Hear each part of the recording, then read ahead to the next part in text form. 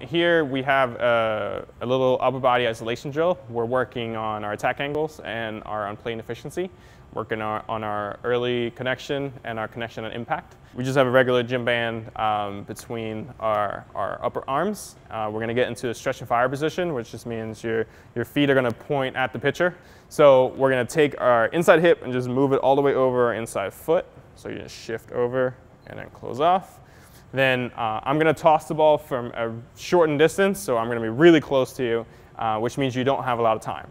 So our upper body mechanics are going to have to be very efficient. We're going to have to work down behind the ball to create a, a, contact point to be able to hit a fair ball, and then stay on that path as long as you possibly can.